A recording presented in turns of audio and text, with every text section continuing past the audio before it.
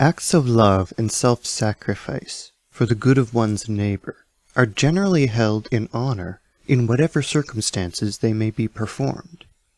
In this way one augments the value of the things which are loved in this fashion, or for which someone sacrifices himself, even though in themselves they may perhaps not be worth very much.